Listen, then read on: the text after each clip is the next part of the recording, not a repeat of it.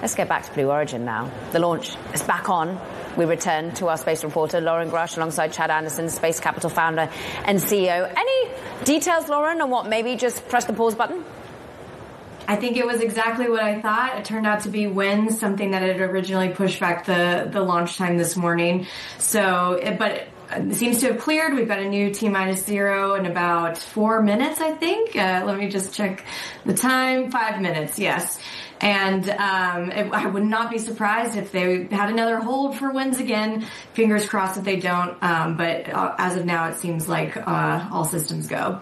And Chad, just remind us of the business model here, because this is, these are sort of short and sweet, 11 minute rides almost. This is more pleasure tourism, but also still understanding the capacity of what humans can do and achieve just into inner or outer orbital. What do you make of what this precedent is for New Shepard and where else it takes us for human travel? Yeah, I think, you know, again, this is um, a small vehicle. It's going to suborbital space, just basically kissing the edge of space and coming back down. And, um, and so I think that it's really kind of uh, indicative of the different sort of philosophies between SpaceX and Blue Origin, where SpaceX has test programs that they do out in public. They, they fail fast, learn quickly, um, adopt those learnings, and then apply them to their next iteration. And we get to follow along and watch that test program play out in real time. With Blue Origin, they're much more careful. Um, they uh, do a lot of testing internally before they ever launch, and that's why we've seen them have an incredible success rate. Um, and this vehicle, this New Shepard vehicle, has an incredible success rate, um, and they've been launching. Um, they've launched 80 people, over 16 flights. You know, all of these. Um, you know, this is a very successful, very reliable vehicle. Um, and it's really the the first step in their larger space ambitions. So the, the you know the landing technology that they use here, they have applied that to their larger New Glenn vehicle. They've got an even bigger New Glenn vehicle that they've just announced. You know they want to go, uh, they want to launch space stations. They they have a lunar lander and contracts with NASA. So their ambitions are large, and this New Shepard vehicle is sort of the seeding of that technology roadmap. Lauren, we mentioned NASA there, and as I said before, we have indeed seemingly confirmed a new chief of NASA, Jared Isaacman. It's been a bit of whiplash through the process. What is he set to put in place? What is the government relationship with these new private startups?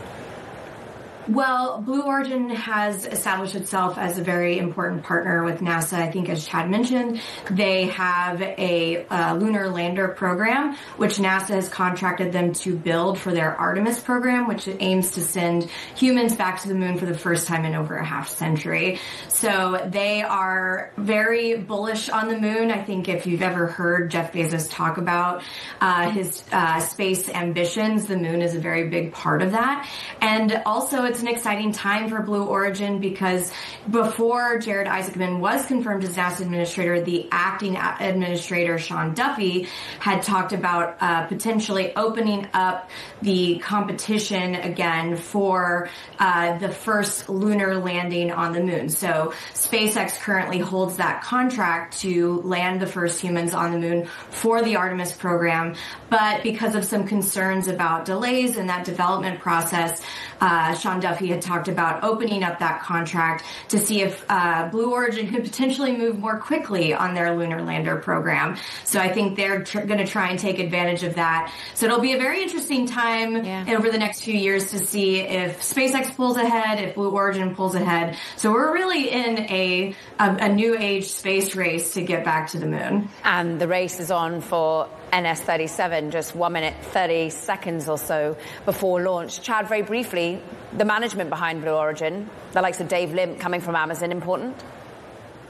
Absolutely. I mean, the company was around for two decades and never launched anything. Um, you know, they were in R and D mode for a very long time. I think bringing in Dave Limp, you've seen what's happened. I mean, obviously a lot of work had been done up to that point, but he, Dave Limp is is uh, a key reason why the company is now launching.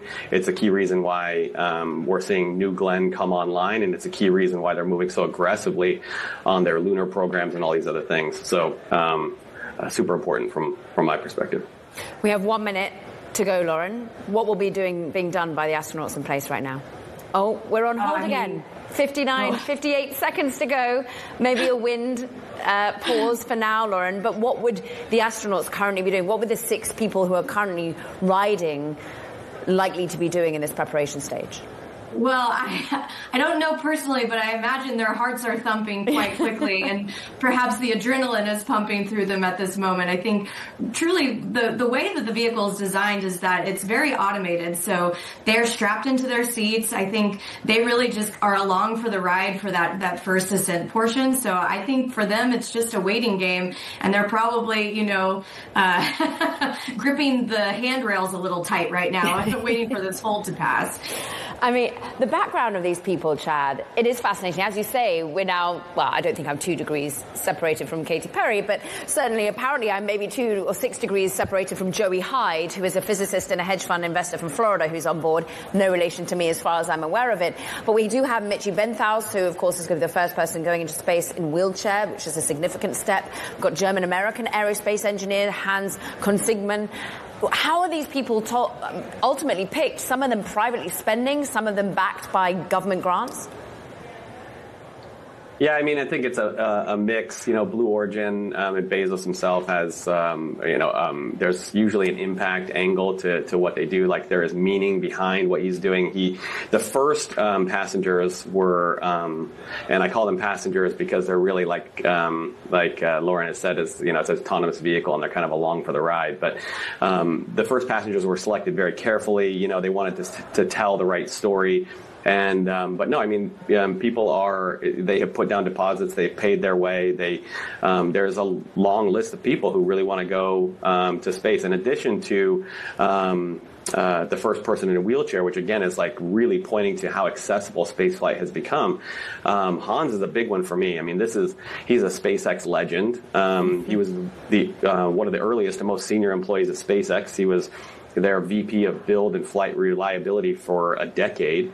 Um, so seeing a key architect of SpaceX's success fly on a Jeff Bezos owned Blue Origin rocket is kind of the crossover moment um, uh, that has the industry, you know, talking. I think it's really interesting. That is, they'll all become weightless as the spacecraft continues towards its highest point on the brief voyage, um, the brief voyage that are going out to the Kármán line. Stick with us, Lauren Grush and Chad Anderson of Space Capital. We so appreciate your time. We'll go back to this launch as and when the clock restarts.